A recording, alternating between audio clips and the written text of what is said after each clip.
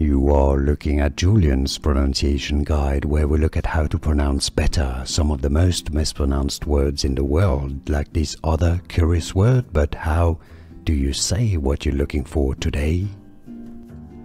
We are looking at how to pronounce these words. We'll be looking at how to say more confusing words and names, including from French. Many mispronounce. How do you say it?